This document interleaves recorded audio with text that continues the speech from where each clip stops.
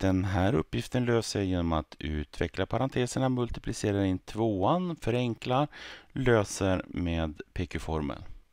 Så jag får 2 parentes x kvadrat minus 4x plus 4 där.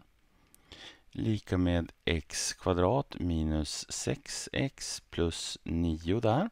Multiplicera in tvåan så får jag 2x kvadrat minus 8x plus 8 är lika med x kvadrat minus 6x plus 9. Titta var det har flest x kvadrat och det är på vänstersidan. Så jag flyttar över allting från högersidan till vänstersidan och när jag gör det så byts alla tecken.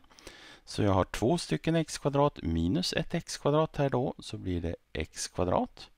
Sen har jag minus 8x plus 6x blir det då när jag flyttar över den här minus 6x på den sidan. Och då får jag minus 2 stycken x.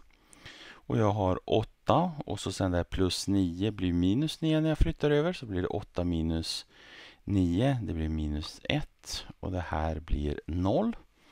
Sådär, och så löser jag med PQ-formel så får jag x är lika med halva den med ombytt tecken. Det blir 1 plus minus roten ur. 1 i kvadrat, det är 1.